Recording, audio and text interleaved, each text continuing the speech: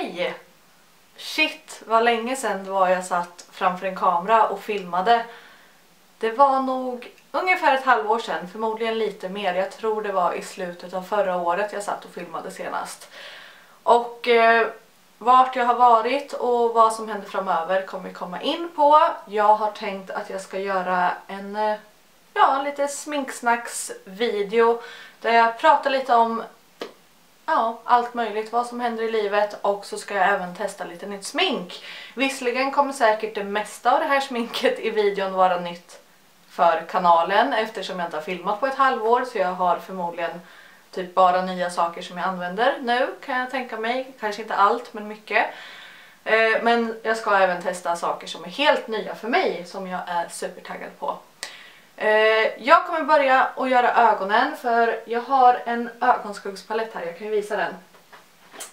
Oh, jag har faktiskt två ögonskuggspaletter som jag ska testa för första gången idag. Men just den här tror jag att den kanske kan ha lite nerfall så därför tänkte jag att jag ska börja med ögonen. Och det är den här, alltså oh my god, ser ni hur den skiner? Det här är Skinny Dip från UR, UA, UA, UR. ja, UA Cosmetics tror jag man säger.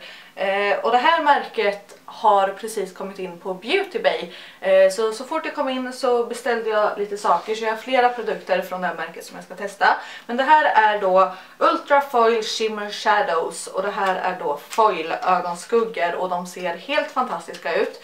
Och tanken är att jag ska använda en eller kanske flera av dem här idag. Eh, så här ser paletten i sig ut. Guldig i kartong, väldigt glänsande. Eh, och skuggorna inuti då ser ut, nu ska vi se här, så här. Eh, så de ser ut att vara väldigt väldigt skimriga och metalliska. Jag har inte bestämt mig för vilken jag ska använda idag. Jag är väldigt sugen på den här Tan Lines för den ser helt fantastisk ut. Men vi får se, jag har inte ens swatchat de här skuggorna så vi kanske får göra det innan jag bestämmer mig. Eh, den andra paletten jag ska testa idag är LH Cosmetics Infinite Palette. Eh, och det här är ju som ni nog vet Linda Hallbergs märke. Jag köpte ju borstarna när de släpptes och jag älskar de borstarna, jag har använt dem jättemycket. Och eh, nu har jag även köpt paletten och så har jag även köpt hennes eh, crayons, de här pennorna. Eh, jag har köpt alla färger så ja, nu har jag alla produkter från LH Cosmetics eller LH Cosmetics. Eh, men jag har inte testat den här eh, någon gång, jag fick hem den igår så den ska jag testa idag också. Så jag tänker att den här har ju väldigt bra basfärger. Så då kan jag använda den tillsammans med den här från UA. UA ja. Eh, och så har jag även tänkt använda den här till ansiktet för det finns ju lite färger som man kan använda som rouge och highlighters och sådär. Så vi sätter väl igång för nu känner jag att jag har babblat ganska mycket redan och jag säger redan nu att den här videon kommer säkerligen bli lång, jag kommer nog inte klippa så mycket i den. Eh, så gillar ni inte långa videos så är det ju ingen idé att ni tittar utan eh, vi bara hänger lite och sminkar oss och så får videon bli så lång som den blir helt enkelt. Vi börjar med den här från LH Cosmetics så jag ska hitta lite borstar här också. Jag var på kryssning i förrgår så jag har fortfarande ganska mycket nerpackat i necessären här. Ehm, där, jag har min color switch. Jag vet inte hur mycket jag har pratat om den här på kanalen. Jag tror en del i alla fall. Det är som en liten kuddgrej som man kan swirla runt borsten i och så tar man bort tidigare produkt. Supersmidigt. Jag kommer börja med den här färgen som heter Cigar. Den här. För jag älskar att använda den typen av färger i globlinjen. Eh, och nu, jag har inte ens swatchat den här paletten. Vilket jag allt... Oj, okej. Okay. Den var lite mer pigmenterad än jag trodde den skulle vara. Jag har hört, eh, alltså när jag har läst recensioner och sådär. Och även från Linda själv när jag har läst, eller någon har pratat om sin palett. Eh, så har jag hört att skuggorna inte ska vara så här superduper pigmenterade som många liksom skuggor är nu för tiden. Eh, men att de ska vara väldigt lätta att jobba med och att det ska gå att bygga upp färgen. Eh, och att de är lättarbetade märker jag direkt. Den här bländar ju ut som en dröm. Gud vad fint den bländar ut. Men den var mer pigmenterad än vad jag trodde. Jag förväntade mig liksom ganska lite pigment eftersom jag har lästa. Men den här var ju jättefin. Jag tänkte att vi går in på det här med Youtube eller min Youtube-kanal direkt. Eh, jag hoppas att jag inte gör allt för många besvikna. Det här är inte en comeback eller vad man ska säga. Jag kommer inte börja göra videos igen. Utan det här är mer mitt sätt att avsluta min kanal. Eh, jag har ju inte lagt upp videos på jättelänge och det beror helt enkelt på att jag tycker inte det är tillräckligt kul längre för att lägga den tiden på Youtube. Eh, saken är den att jag har ju hållit på med Youtube i väldigt många år och jag har aldrig tyckt att det var att, eller att det var att det är särskilt roligt att eh, redigera videos.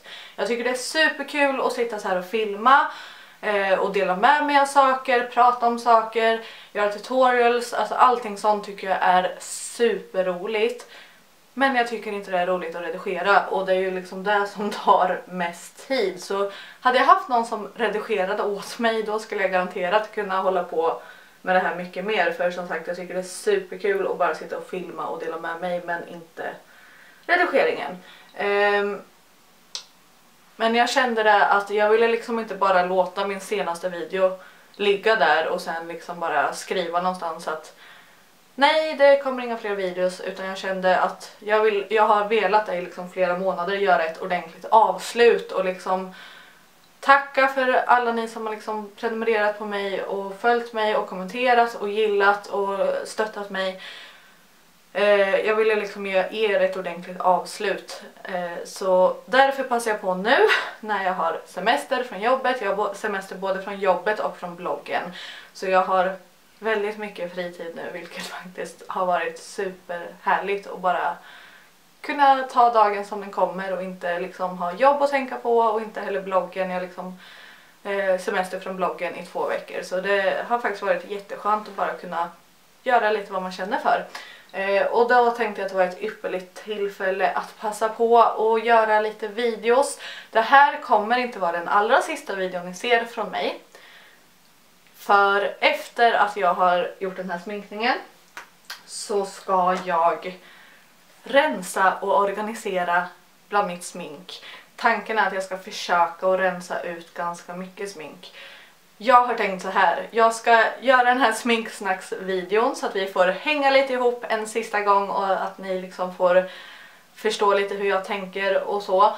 Eh, och sen eh, så kommer det komma, efter den här videon så kommer det komma lite rensnings och organiseringsvideos för jag själv älskar att titta på den typen av videos. Jag tycker det är så himla kul att se när folk rensar och organiserar. Jag tycker det är jättehärligt.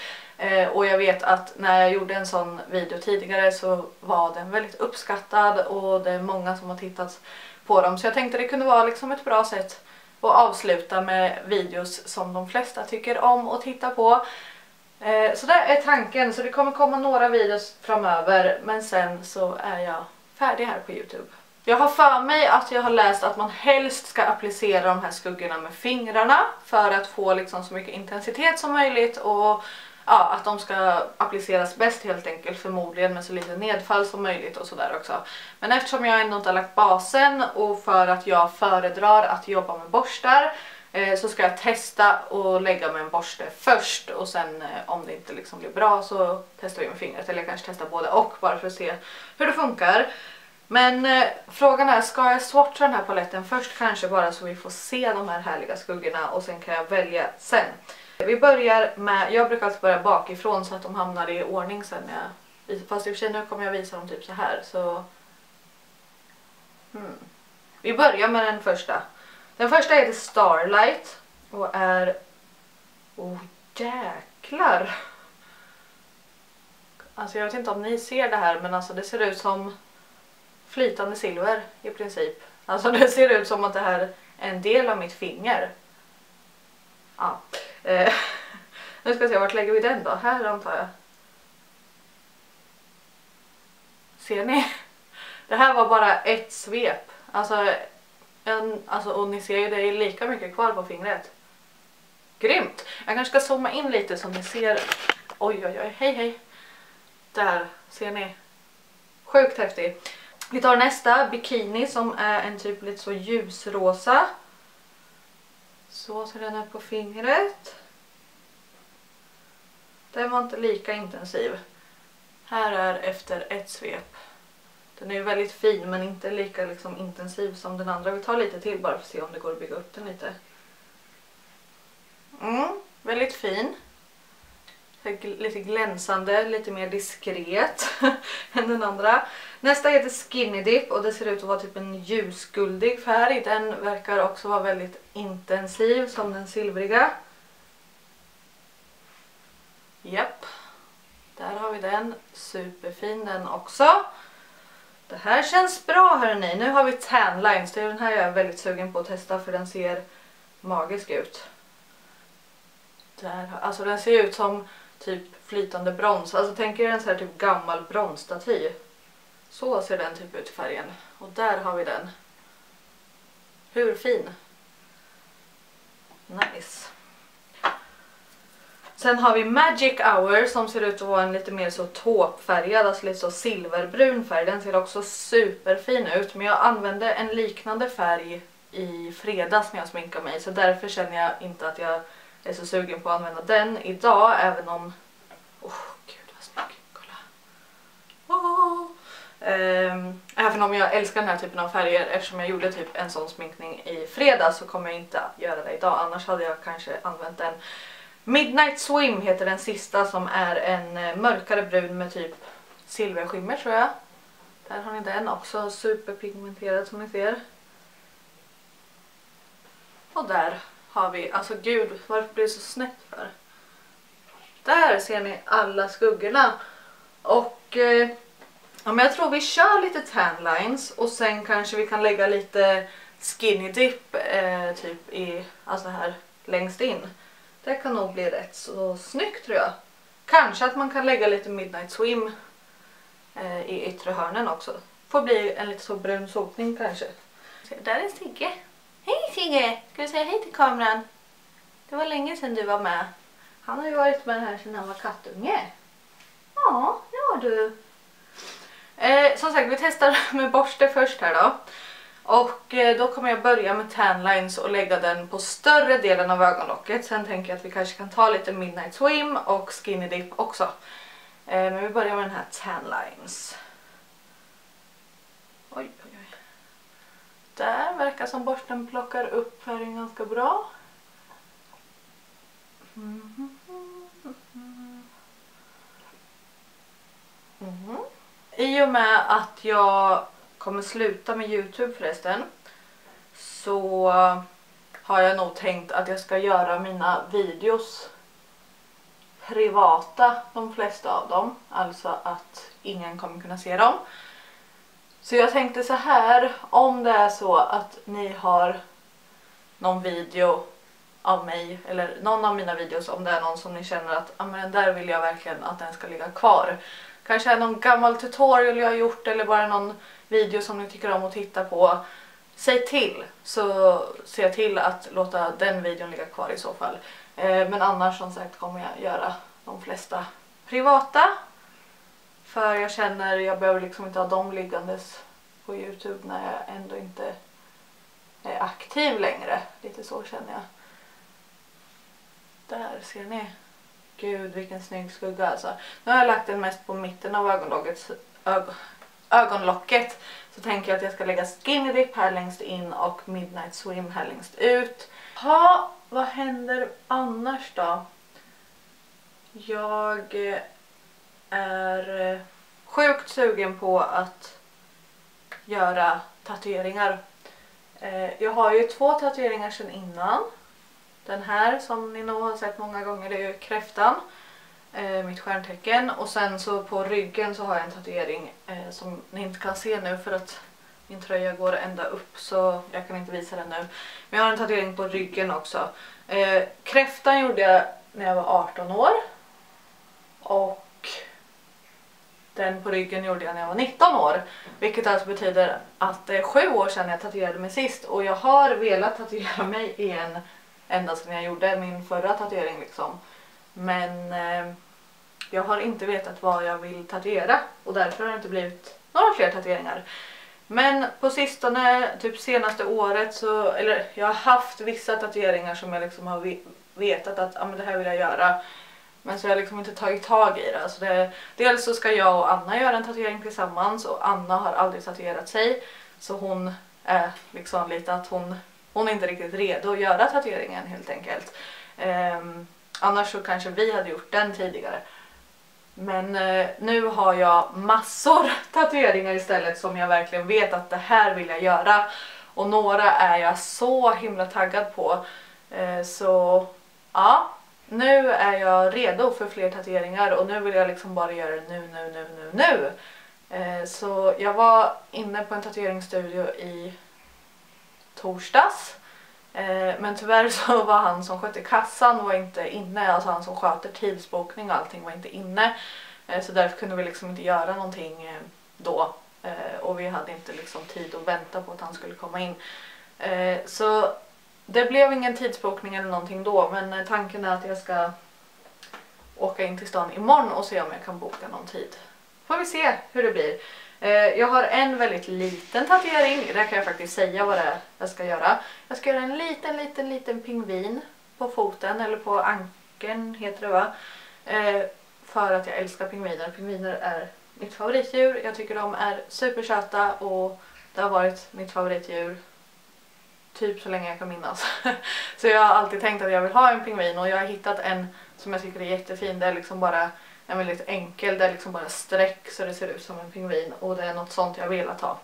Jag har inte velat ha någon liksom verklighetstrogen pingvin utan bara en liten söt pingvin helt enkelt. Så där kommer det bli.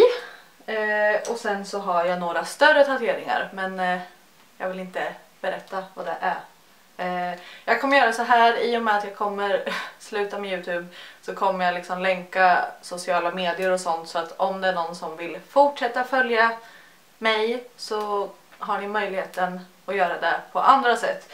Jag har ju bland annat min Snapchat, jag har min Instagram där det är väldigt mycket skönhet om det är det ni är intresserade av.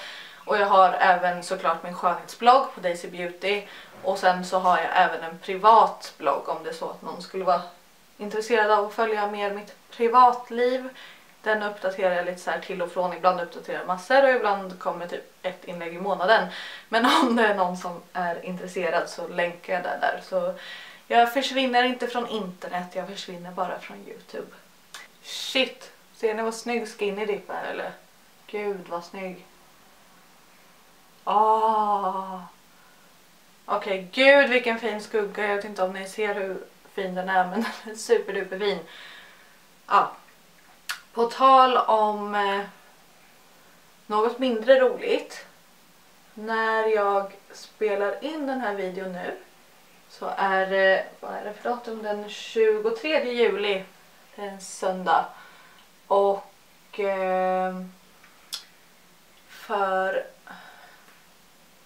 tre dagar sedan blir det nu va? Lördag, fredag, torsdag så dog Chester Bennington som är sångaren i Linkin Park. Och för er som kanske inte vet det så är Linkin Park mitt favoritband, eller ett av mina favoritband. Jag har tre stycken band som jag har, ja, det har varit liksom mina favoriter sen högstadiet i princip. Jag, jag har liksom lyssnat på den konstant sedan dess. Eh, så det är liksom mina topp tre, det kommer nog alltid vara mina topp tre. Jag lyssnar såklart på andra band också men de liksom har alltid legat mig närmast hjärtat. Och Linkin Park är det bandet som har hängt med mig allra längst. Jag började lyssna på Linkin Park när jag var 10 år gammal och jag har inte slutat sedan dess. Jag har alltså lyssnat på dem i 16 år nu. Så när jag fick veta att Chester Bennington var död ja, det kändes riktigt jävla hemskt helt enkelt. Jag blev chockad och jag blev superledsen. Jag blir sällan ledsen när det handlar om kändisar som dör för det, alltså man, kan ju ty man tycker ju oftast att det är väldigt sorgligt men inte att jag liksom blir fysiskt ledsen.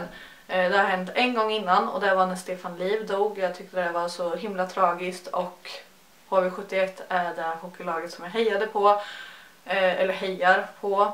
Eh, så det kändes liksom ja men det kändes väldigt, alltså det var en så tragisk olycka och man hade ju ändå sett honom spela flera gånger så det kändes liksom det kändes närmare då liksom. Och det är väl lite samma sak nu med Chester Bennington. Som sagt, jag har lyssnat på Linkin Park i 16 år. Jag har liksom aldrig slutat lyssna på dem. De har liksom varit en del av mitt liv i 16 år. Jag har liksom lyssnat på dem genom allt. Alltså när jag har varit glad, när jag har varit ledsen, när jag har varit arg. De har liksom alltid funnits där. eh, så, och jag har sett dem live två gånger. Jag såg dem live när de var här 2007. Det var första gången jag såg dem och sen såg jag dem för ungefär 3-4 veckor sedan på Bråvalla. Eh, och där är jag glad att jag, fick se, att jag ändå har fått se honom live eller se dem live två gånger. Eh, för de är helt fantastiska live. De eh, är super super bra live.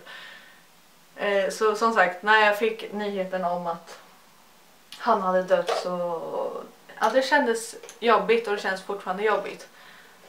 Eh, ja. Jag vet inte, jag kände bara att jag ville ta upp det i den här videon. Jag vet inte varför men eh, det är ju ändå en så ganska stor grej och det, alltså det känns så sjukt. Det, ja. Jag har liksom inte riktigt kunnat förstå det än. Eh, ja. Eh, vi går in med den här Midnight Swim nu. Det känns tråkigt också för eh, alltså nu var inte det något med hans död att göra så men eh, Yellow Card Blink 182 och Linkin Park är de tre banden som är liksom mina eh, favoriter. Och Yellow Card splittrades i år. Eh, eller splittrades splittrades. De bestämde sig för att de var färdiga eh, och ville inte göra musik mer. Alltså de, de kände sig färdiga med Yellow Card. Eh, och det är ju liksom Alltså det är ju deras val och jag har haft turen att få se dem live en gång också som tur är. Annars hade det känts pisstråkigt om jag inte hade fått se dem live någon gång men nu har jag fått göra det. Eh, men eh, det känns liksom, ja de splittrades och nu har Chester Bennington gått bort och han är ju en så himla stor del av Linkin Park så alltså oavsett vad Linkin Park väljer att göra så kommer det ju aldrig bli samma för han är ju ändå huvudsångaren. Mike sjunger ju också eh, och är jätteduktig på att sjunga men Chester är ju ändå liksom verkligen sångaren i bandet.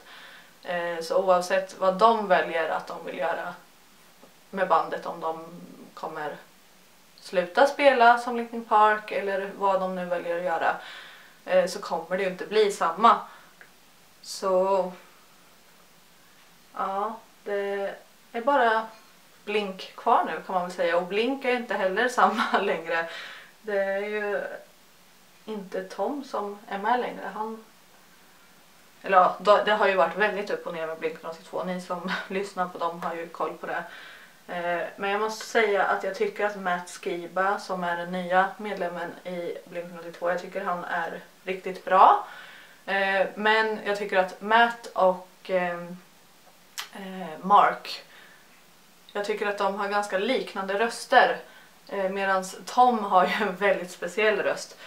Så det blev liksom lite skillnad. Alltså jag, jag tycker att eh, nya skivan som är med Matt Skiba jag tycker att den är väldigt bra. Men det är ju skillnad i och med att Toms röst är så speciell och den alltså, gav ju väldigt mycket liksom så till bandet. Och sådär. Eh, så det känns liksom som att mina tre favoritband alla liksom bara försvinner. Men eh, det spelar ingen roll för de har ju fortfarande massa grym musik som man kan lyssna på. Eh, så ja. Men eh, det var tråkigt. Jag, Blink 182 med Mats Skriva då skulle ju komma till eh, Stockholm i juni. Och cirka tre veckor innan konserten så ställde de in. Jättekul för Blink 182 är det enda bandet av de tre som jag inte har fått se live någon gång. Så det känns skittråkigt. Jag var så himla taggad när jag fick veta att de skulle komma till Sverige så grät jag för att jag har velat se dem så himla länge. Och i och med att det har varit sånt strul, de har ju liksom splittrats och sen så blev de, alltså började de spela igen tillsammans med Tom och sen så splittrades de och sen började de spela igen och sen så hoppade han av och sen så kom Matt in. Så det har ju varit så himla mycket upp och ner. Um, så därför var jag så himla taggad på att äntligen få se dem live även om det inte var med Tom. Så det suger att de ställde in. Jag hoppas verkligen att de kommer tillbaka för jag vill verkligen se dem live. Visserligen har jag hört att de inte ska vara så himla bra live. Men jag vill ju ändå se dem live för det är ju ändå ett av mina favoritband. Nu blir det väldigt mycket prat här. Jag kanske ska fortsätta med sminkningen. Så här blev ögonen. Jag tror att jag kommer lämna det så faktiskt. Jag tänkte ju först om jag skulle använda någon mer skugga från eh, LH Cosmetics men det är ju i så fall den här svarta och jag känner att jag behöver nog inget svart. Jag känner mig ganska nöjd. Det blev liksom en så lite brun sotning. Eh, ja, det är en hel del nedfall vilket jag ju trodde att det skulle vara så det var ju tur att jag inte gjorde basen innan så jag ska borsta bort det eh, och sen så kör vi basen. Frågan är om jag ska göra lite eyeliner. Nej, jag struntar i eyeliner. Jag känner mig inte så pepp på det. Och om det blir fult så kommer jag störa mig på det i alla videos. Och det är mina sista videos. Så jag vill inte att jag ska störa mig på eyeliner då. Ni vet hur det är. Jag kör lite primer nu då. Det här är Becca Backlight Priming Filter. Oj, oh, shit råkar skvätta lite på sängen här. Um, det här är en lystergivande primer som jag köpte på Sephora. Jag bestämde mig för att testa den när min från L'Oreal tar slut. Ni vet ju att jag har älskat den från L'Oreal som också är lystergivande. Eh, men jag bestämde mig för att testa den här och jag har varit supernöjd med den här också. Då ska vi ta lite foundation och min favorit just nu är den här från Max Factor. Det här är Lasting Performance Long Lasting Makeup. Och jag har den i färgen 106 Natural Beige som passar mig bra nu på sommaren. Alltså den här foundationen är verkligen grym. Och den är ju billig också så rekommenderas. Den eh, ger väldigt mycket täckning och eh, den har väldigt bra hållbarhet. Och det är typ allt jag vill ha i en foundation så det är ju perfekt som ni också gillar det i en foundation så rekommenderar jag den här. Och min hy har varit fruktansvärt bra senaste månaderna. Jag är så himla tacksam. Ni som har följt mig vet ju att jag har haft en hel del strul med min hy. Den har ju varit bättre de senaste åren. Men alltså nu senaste veckorna det har liksom knappt varit en enda finne. Eller senaste månaderna har jag liksom knappt haft en enda finne och det har varit så himla skönt. Eh, så ja, mina hudvårdsprodukter som jag använt har dock börjat liksom ta slut en och en nu så jag är lite rädd att min hy ska fucka upp igen ja, det slutade spela in. Men det jag skulle säga var att jag har så himla mycket hudvårdsprodukter hemma. Så nu när de produkterna jag använder börjar ta slut så liksom det känns så fel att gå och liksom köpa nya produkter när jag har massor hemma. Även ifall de nu har fungerat fantastiskt bra eh, så känns det ändå så himla onödigt att gå och köpa liksom nya produkter. Så förmodligen så kommer jag testa med något jag har hemma och hoppas att det håller i sig ändå. Och gör det inte det, ja men då får jag väl köpa de produkterna ändå. Men som sagt, jag kan ju testa med det jag har hemma först i alla fall så får vi se. Om min hy slår bakut eller om eh, den håller sig bra. Lite concealer.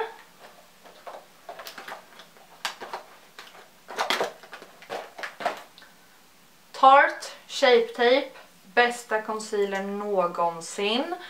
Jag tror inte att jag har pratat om den här på kanalen för jag tror inte jag har gjort någon video sedan jag köpte den här. Men den är verkligen grym. Alltså den... Mm, den eh, täcker allt och den sitter på och den ger så himla fint resultat. Jag har gjort en recension om den här på min blogg också och jag vet att jag skrev i den att när jag testar en ny foundation, det spelar knappt någon roll vilket resultat foundationen ger för att Tarte Shape Tape den liksom räddar situationen oavsett. För den är så himla fin på. Så är det liksom att jag testar en foundation och bara nej gud hur ser jag ut? Och så lägger jag lite Tarte Shape Tape och då blir allting bra. Jag skulle liksom kunna ha Tarte Shape Tape i hela ansiktet känns det som men eh, det känns lite onödigt. För att gå tillbaka till eh, Linkin Park och eh, Bråvalla rätta eller mer specifikt.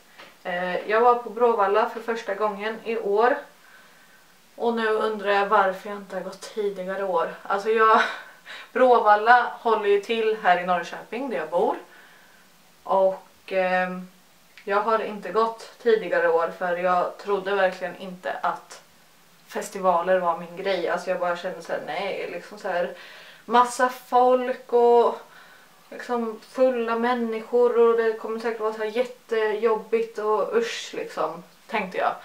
Eh, så därför har jag aldrig varit där men i år så skulle ju då, Linkin Park spela och då kände jag att ah, men då måste jag ju dit. Jag måste ju se Linkin Park såklart när någon kommer till Sverige igen. Eh, så det var liksom det var liksom inget att fundera över, jag skulle dit.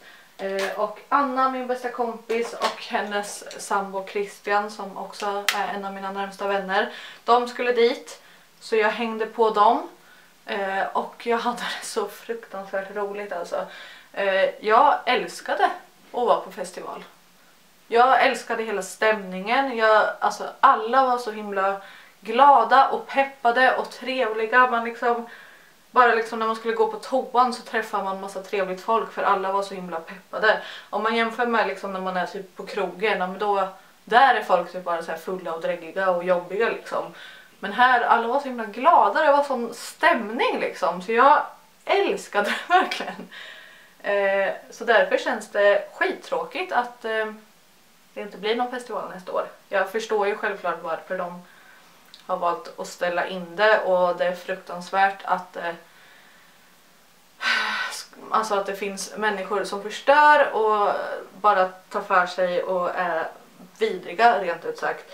Eh, så där liksom förstår jag absolut men jag tycker ändå personligen att det är väldigt tråkigt att det inte blir något mer Bråvalla eftersom jag hade det så fruktansvärt roligt. Eh, så det är lite synd och speciellt synd är det att jag är liksom har undvikit att gå tidigare år för jag inte trodde att det var min grej och så visade det sig att det var typ det roligaste jag varit på liksom. Så det var ju lite tråkigt av eh, mig att inte gå tidigare år. Ser ni att jag har tagit hål i öronen förresten? Det har jag inte haft innan. Jag, tog, jag har velat ha hål i öronen. Jag har haft hål i öronen ska jag säga. När jag var yngre och sen så använde jag inte hålen så de liksom växte typ igen. Och varje gång jag skulle ha örhängen så liksom fick jag typ trycka igenom och göra nya hål och då liksom, det blev ju inte bra. Men sen så har jag känt att jag velat ha hål i öronen igen så jag fick det i julklapp av Marcus att ta nya hål så jag gjorde det typ i januari, februari någonting. Asnice! Nu använder jag örhängen hela tiden, jag tycker det är skitnice. För grejen är, jag har inte så mycket för smycken överhuvudtaget. Um, nej inte. Utan eh, jag tycker det är jättefint med halsband och armband och ringar men jag är jättedålig på att använda det själv. Jag använder liksom halsband typ ibland när jag vill liksom vara lite fin men annars så är jag väldigt dålig på att använda eh, smycken. Men örhängen är så himla enkelt för det, liksom, det syns inte så mycket men det är ändå något lite extra och det finns så många olika så det finns alla, alltså det finns något till varje situation liksom. Eh, så jag är jätteglad att jag tog hål i öronen igen. Eh, de här örhängena fick jag från Anna och Christian i födelsedagspresent. De kommer från Lily and Rose och jag tycker de är hur fina som helst. De är så himla blingiga. Eh, jag ska fylla i mina bryn nu. Jag använder Anastasia Brow Definer. Det här har varit min favoritprodukt att fylla i brynen med nu under hela våren och sommaren typ. Jag har till och med köpt en ny för att den här börjar ta slut. Och eh, ja, jag har varit riktigt nöjd med den här. Eh, sen kom jag på att jag har faktiskt en eh, ny eh, bryngelé som jag inte har testat. Jag hade tänkt att jag skulle vänta med att börja använda den tills jag hade tagit slut på min eh, bryngelé från Anastasia för den är snart slut. Men eftersom vi testar nya produkter idag så känns det ju lägligt att testa den också så jag ska hämta den. Då är den här från The Brow Gal. Eh, jag har hört jättemycket bra om den här. Jag tror det är Linda Hallberg bland annat som har skrivit att den här ska vara grymt bra. Eh, just att hålla brynen på plats. Så den här ska vi testa. Eh, jag har testat lite andra produkter från The Brow Gal som har varit bra också så vi får se. Det luktar ganska starkt. Eh, jag har läst att eh, man inte ska använda för mycket produkt av den här för då blir den liksom inte så bra. Så jag torkar av den lite. Och sen så kör vi.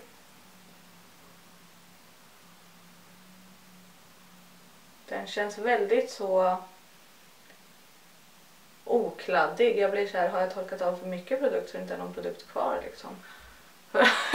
jag har hört liksom vissa säga att den är lite så klibbigare typ än eh, från Anastasia så nu blir jag så här shit har jag tagit bort för mycket produkt nu men jag tror inte det. Så där då, då kör vi lite ansikte tänker jag. Eh, så vi går in på LH Cosmetics eh, paletten igen. Ursäkta att jag inte pratar in i kameran, jag letar efter borsten här. Eh, jag tar min kontorborste eh, och så kommer jag gå in med den här cigarren som jag använder på ögonen. Eh, och så kommer jag använda den till kontor nu istället. Ska vi se hur det här går.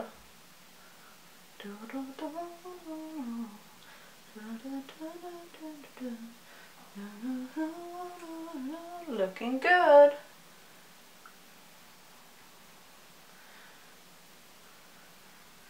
På tal om något helt annat, om någon skulle undra vart min eh, tröja är ifrån så kan jag berätta att det är en body och den är från H&M. Jag eh, köpte den här bodyn fast i grått eh, på rean så här för flera flera månader sedan, alltså typ i januari eller något tror jag det var. Och sen så när jag testade den så hade jag ingen bh. jag bara testade den sen jag precis hade fått hem det. Och då var den liksom lite för stor. Ni ser den är lite så här stor här liksom. Eh, men den blev ännu större när jag inte hade bh för då var det inte lika mycket som fyllde ut. Eh, men sen så testade jag den, alltså typ några månader efter jag hade fått hem den. Så testade jag den med bh och då såg den ju ännu bättre ut. Eller då såg den ju verkligen bra ut på. Och, efter, och nu under sommaren så har jag älskat att använda den bodyn. Alltså jag tyckte den har varit så himla snygg, så himla bekväm och liksom bara jag har bara känt mig jäkligt snygg i den liksom. Så då bestämde jag mig för att eh, se om den fanns i fler färger. Och det gjorde den. Så jag har köpt en vit och en typ puderrosa. Och sen beställde jag även lite fler bodys för jag har insett att det här med bodys är ju riktigt nice. Jag har inte varit en bodys person innan men eh, det är jag nu. Jag tycker det är skitnice faktiskt. Så jag är nöjd med det. Den här var ju skitsnygg att kontora med ju. Min LH Cosmetics rougeborste, det här är nummer 310, superbra. Eh, frågan är vad ska jag ha för rouge? Det är ju den här Andromeda eller Pinwheel. Jag tror nog det får bli Andromeda för det är ju ändå en ganska varm ögonsminkning i och med att det är lite så gulligt och bronsigt och sådär. Eh, och då känns det snyggare med en lite så varm det är lite såhär persiko tonat typ. Så vi kör på den helt enkelt. Oj oj oj. Var lite pudrig.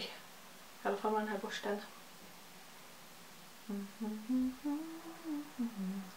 Och jag använde den här borsten för att highlighta på kroppen i eh, fredags när jag var på kryssningen.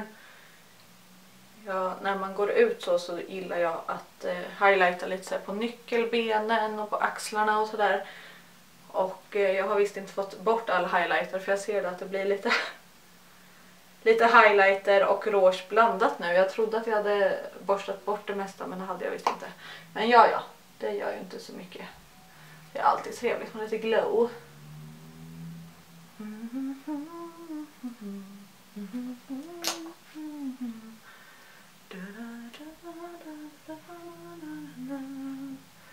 Så. Jättefint.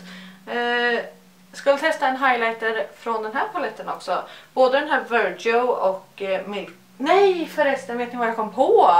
Jag har ju för tusan en highlighter från UA. Då måste vi testa den. Få testa highlighters från den här paletten en annan gång. Eh, åh, nu ska vi se här. Här har vi det samma kollektion som paletten. Eh, Skinny Dip Powder Highlighter i färgen Skinny Dip. Och eh, den här ser skitsnygg ut så jag hoppas att det blir bra. Så här ser dosan ut, det är en spegeldosa så jag kan se mig själv här i. Eh, så den lär bli väldigt smutsig väldigt fort men eh, ja. Och här har vi själva highlighten. Superfin. Den är lite så guldroséig skulle jag säga. Alltså lite så här guld, guldig men med lite så här rosa ton nästan. Typ. Vi får se hur den ser ut på. Eh, då ska vi ha min highlightingborste. Där har vi den. Det här är också från LH Cosmetics. Det är 306. Jättebra highlighterborste. Nu som sagt blev det lite highlighter av råset i och med att jag hade använt den till highlighter. Men det gör ju inget. Eh, den som hade varit på borsten är The Balm eh, Mary Luminizer. Men vi lägger den här lite fint ovanpå bara så blir det nog jättebra. Hoppas att den här inte är för mörk för mig bara. Men eh, vi provar. Oj, oj, oj, oj. Shit. Den var intensiv. Väldigt guldig. Så den passar ju ganska bra till den här looken. Eftersom looken är ganska guldig. Mm, mm. Snyggt. I like. Lägger lite här uppe också och lite runt som i ett C. Det är så jag brukar göra. Så tar vi andra sidan. Var väldigt intensiv och pigmenterad i alla fall. Kan jag säga. Jag gillar att lägga highlightern med ena sidan på borsten och sen vänder jag för att liksom mjuka upp eller sudda ut highlighten lite. Här har jag min ögonfransböjare. Det är den som kommer från eh, Surat. Skitbra är den. Kan varmt rekommenderas. Och eh, de senaste månaderna har jag använt ett sånt här ögonfransserum. Och jag tycker fasiken att det har funkat alltså. Jag tycker att jag har fått jättelånga ögonfransar så det här är kul. Jag trodde att det kanske inte skulle funka. Jag fick eh, det ögonpanserumet på jag tror det var Daisy Beauty Expo förra året. Jag har haft det liksom liggande i min låda i över ett år. Eh, för jag har liksom inte haft orken att börja testa det för man måste ju liksom verkligen använda det hela tiden regelbundet för att se någon effekt liksom. Men så kände jag liksom att jo, men jag ska fasiken testa och se om det går. Eh, så då använde jag den cirka två gånger om dagen i fyra veckor. Kanske fuskade ibland, men ungefär två gånger om dagen i fyra veckor. Eh, och som sagt, jag har sett skillnad. Efter de fyra veckorna har jag använt kanske en gång om dagen. Eller en gång varannan dag. Jag har slarvat lite efter de fyra veckorna. Men eh, de har hållit sig långa och fina ändå. Eh, så jag har varit jättenöjd. Eh, jag kommer vad är det det heter? Jag tror märket heter typ Dr. Tempt eller Tent. Dr. Tempt. Jag kan skriva det här nere i informationsrutan om det är någon som ska vara intresserad. Jag ska också göra en recension av den här på min blogg. Så om ni följer min blogg så kommer ni se recension och då har jag även så före och efterbilder. Jag har inte jämfört de bilderna själv än. Så jag vet inte om det kommer synas på bilderna skillnad men jag känner själv att det är stor skillnad. Alltså, jag ser ju liksom hur fransarna ser ut. Jag känner själv att det är väldigt stor skillnad. Eh, så jag hoppas att det syns på bilderna också. Men i alla fall det är typ från Dr. Tempt eller något och så heter produkten Magic Lashes om jag inte minns helt fel. Så jag har varit nöjd med den kan jag säga. Eh, nu använder jag min favoritmascara. Det här är Tarte Light, Lights Camera Lashes och det här är i en specialförpackning som släpptes med en kollektion för ett tag sedan. Och i den kollektionen är en jättefin palett som jag också har. Den heter Make Believe in Yourself. Och det är värsta så här fina skimriga färgerna, superfin. Eh, på tal om paletter förresten. Det här eh, idag är första gången som jag använder en annan palett än eh, min Morphe palett med Jacqueline Hill. Den, eh, den här. Sen jag köpte den. Eh, jag fick hem den här för, vad kan det vara? Två, tre veckor sedan kanske. Och jag har inte kunnat sluta använda den. Den är så himla bra. Alltså jag har älskat den. Så här ser den ut. Jag tror nog att de flesta av er har sett den för den är ju väldigt hypad. Jag lyckades få tag på den vid första släppet. Fick hem den cirka en vecka efter och har inte använt någon annan palett sedan dess. Jag har swatches på min blogg om det är någon som vill se. Och även en del sminkningar. Jag har ju semester från bloggen nu så många av de sminkningarna som jag har gjort med paletten ligger ju inte uppe än. De kommer komma upp när min semester från bloggen är slut. Men jag har lagt upp lite så sneak peeks på min Instagram om det är någon som vill se. Eh, men eh, som sagt, jag har swatches på bloggen och jag kommer efter semestern sen ska jag skriva en recension. För som sagt, jag har testat de flesta skuggorna i paletten nu. Och har varit jättenöjd. Jag har tänkt att jag ska försöka testa alla skuggorna så att jag verkligen har använt alla innan jag skriver recensionen. För man vet ju aldrig, det kan ju vara något bottennapp. Där har vi mascara på, alltså ser ni vad fina fransar man får med den här mascaran. Jag älskar den. Eh, nu har vi bara eyeliner, eller inte eyeliner, jag ska lägga en kajal och eh, läppar kvar. Och vi kör läpparna så att mascaran får torka lite så jag inte råkar kladda med den. Eh, och på läpparna så har jag också från oh, UA Cosmetics. Jag har två stycken, de släppte ganska nyligen de här High Pigment Lip Gloss. Och jag har två stycken färger så jag tänkte att jag skulle använda någon av dem idag. Jag gissar på att jag redan vet vilken jag tänkte använda. För jag tror att en passar lite bättre med den här looken. Eh, jag har eh, Rodeo som är lite så mellanrosa färg typ. Och sen så har jag Fifth Ave som är lite så mer brun färg. Och jag tänker att den här nog kommer passa bättre till sminkningen. Tror inte ni det? Jag tror det. Så jag tänkte testa den. Får vi se hur den här är. Jag har hört mycket bra om de här så jag är taggad. Eh, jag varit mycket för läppglans nu under semestern faktiskt. Jag har ju... Åh, oh, nice. Snygg färg. Eh, jag har ju, alltså gud. Mm, de här luktar så himla gott alltså. De luktar vanilj. Men inte typ så här som Max läppstift. De luktar ju också typ vanilj. Men de här luktar mer typ, van, typ eh, vad heter det? Eh, gräddglass, vaniljgräddglass. Typ så luktar de här. Supergott. Eh, vad var det jag pratade om? Mm.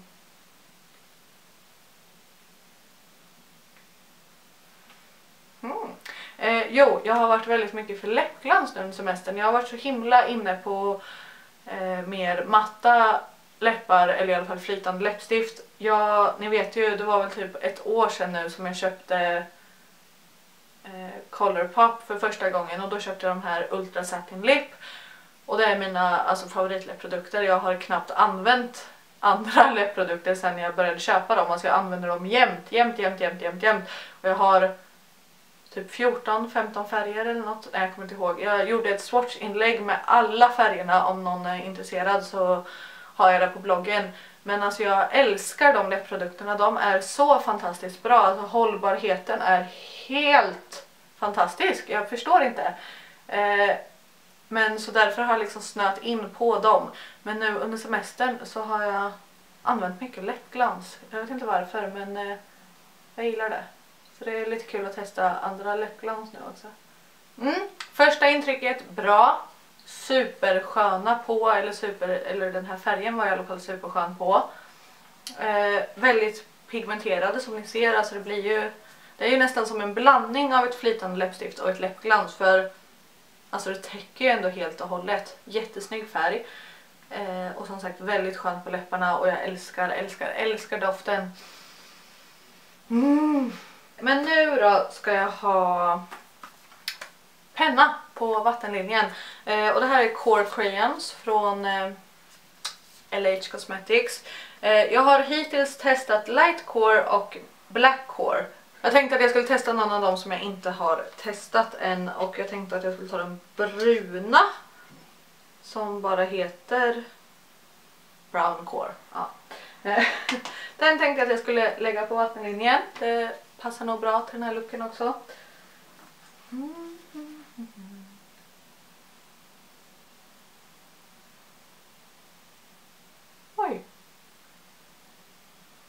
Den var väldigt eh, varm i tonen. Varmare än vad jag hade förväntat mig. Men det passar ändå den här looken men eh, jag hade hoppats på att eh, det här kanske skulle vara en dupe för eh, min absoluta favorit ögonpenna från eh, Eh, Urban Decay. Den heter Smoke Out och jag älskar att använda den till så bruna sotningar. Den blir så himla snygg till det. Eh, och jag hade hoppats att det här kanske skulle vara en djup på det men den här är mycket varmare i tonen och ljusare än eh, den tyvärr. Men den är fortfarande jäkligt snygg alltså. Nu är sminkningen färdig så nu ska jag sluta babbla. Jag hoppas att ni har gillat den här videon och att ni har tyckt att det har varit kul att hänga en sista gång. Som sagt, jag kommer sluta på Youtube. Det här är mer bara mitt sätt att säga hej då. Eh, så efter den här videon kommer det komma lite rensnings- och organiseringsvideos som sagt. Eh, jag vet inte hur många delar det blir. Tanken var att jag skulle ha en rensningsvideo och en organiseringsvideo. Men jag inser ju att min sminkkollektion är ju väldigt väldigt stor. Eh, så jag blir lite så här, måste jag kanske dela upp det så det inte blir för lång video? Eller vill ni ha bara en skitlång video där jag rensar eh, eh, allt? Det är frågan. Och jag ska ju filma det nu så det är ju egentligen inte, ni har inte så mycket att säga till om. Vi får se hur jag gör. Med det så vill jag bara säga tack för allt och eh, vi ses i nästa video eh, och några videos till. Och sen så får ni ha det så jättebra. Eh, så ja, hej då allihopa. Jag kom på att ni kanske vill se sminket lite närmare också så så här ser det ut. Superfina skuggor. Jätte, alltså jag är jättenöjd med den här sminkningen. Jättefina produkter. Nice, nice. Ja, hej då allihopa!